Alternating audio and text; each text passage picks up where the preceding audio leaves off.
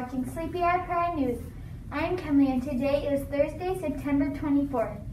The week is already over and that means we will have a, to say goodbye to those great lunch choices for, for another weekend and a long weekend at that.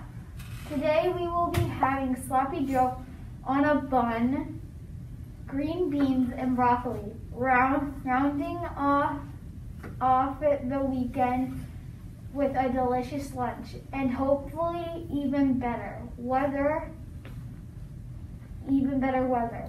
Let's get the weekend weather update. Possible temps are in store in the weather department this weekend with a high in the high 70s and 80s, starting with a high of 76 today. Folks. Enjoy it while you can. Back to you. I'm liking that forecast. Reminders for today.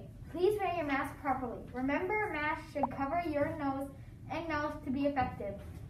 Be mindful of the arrows in the hallway. We want to try to follow their directions whenever possible. Remember to social distance throughout the day, including during mask breaks. So, and before and after school. Finally, there will be no school tomorrow for staff development. That does it for today. Thanks for tuning in yet again. Please stand for the Pledge of Allegiance on the count of three. One,